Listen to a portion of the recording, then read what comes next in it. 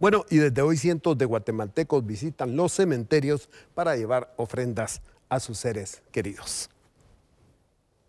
Guatemaltecos se preparan para este primero de noviembre, fecha que conmemora a todos aquellos seres queridos que partieron a una vida eterna, pero son recordados y honrados al visitarlos en el cementerio, con unas bellas flores, coronas y candelas para presentar como regalo. Según las leyendas que contaban los abuelos, el 31 de octubre, al caer la noche, los espíritus regresaban a buscar su cuerpo y merodeaban por el frío del onceavo mes. La familia, en lugar de sentirse temerosa, realiza una fiesta de bienvenida para aquellos que se extrañan, honrando la vida de los difuntos.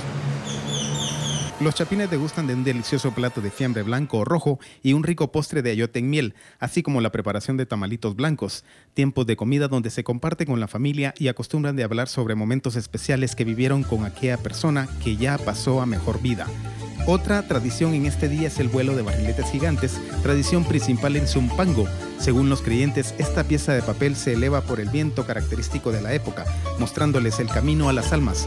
El primero de noviembre es uno de los festejos más conmemorados en Guatemala y que se ha propagado por todos aquellos que residen en otros países.